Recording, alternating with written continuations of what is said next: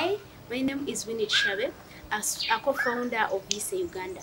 ISE Uganda is a social organization that delivers bundled regenerative farming activities to smallholder farmers in Uganda. We do this through organizing smallholder farmers in small groups, training them on organic fertilizer production, water harvesting, pesticide control, and, and encouraging them to do sustainable farming practices.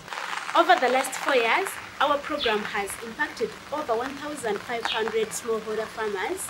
These have increased the food security, increased incomes, and their children can have access to good, nutritious foods every day.